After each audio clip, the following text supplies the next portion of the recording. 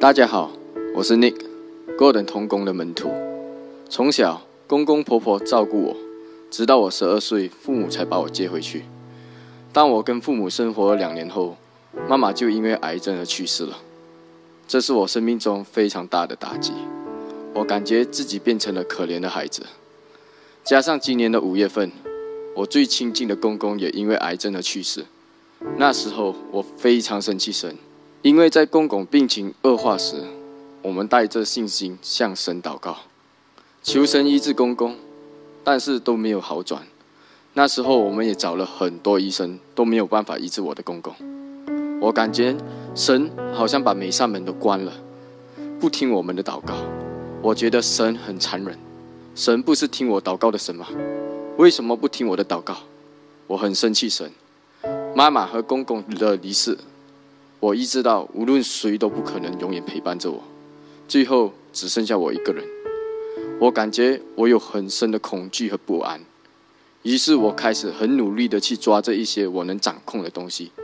我就把我的心思放在工作上，很努力的去赚钱，甚至牺牲来教会的时间。我对神的话也逐渐的失去了胃口，很难投入读经和晨祷。虽然教会常常听到神会看顾、神会医治，但我的心充满怀疑。我心想：神若真的会看顾我，为什么不医治我的妈妈和公公呢？我总觉得圣经讲的东西不适宜用于日常的生活。我比较相信我自己，我要靠自己的努力获得事业上的成就，找回一些安全感。但这样的生活却让我感到了窒息和疲劳。我变得越来越不开心，眼里只剩下钱。看不到人，看不到神，更感觉不到爱。我在我快要撑不住的时候，感谢神，癌健举办了凯戴斯医治释放营。在组长的鼓励下，我决定放下工作来找神。通过圣经浪子回头的故事，天父爸爸让我明白了他对我全然无条件的爱。我发现自己就像个浪子，即使我曾不信他，用工作麻醉自己，甚至因为生气不理神。但是天父爸爸明白我心里的难过和失望，他没有责怪过我，他一直在等我回家。当我决定走出去被服侍时，童工代表天父来拥抱我，我感觉有一股暖流从外面流到我心里，那就是我一直很都很渴望的平安。这段时间失去了亲人的难过，工作的压力，因逃避神而产生的内疚感，在那一刻，我被天父爸爸浓浓的爱。温暖着，完全的释放。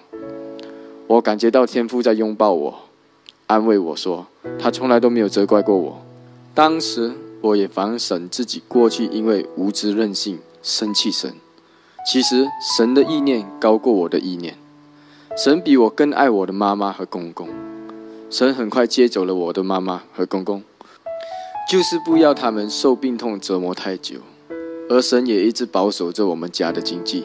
这是对我们家人最好的保护。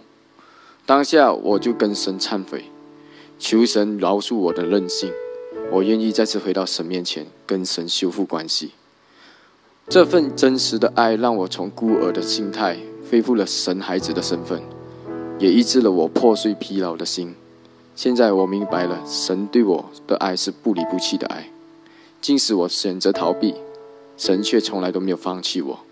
他是我的天赋。我最大的底气就是安全感。神爱我，有天赋，爸爸做我最大的靠山，我还惧怕谁呢？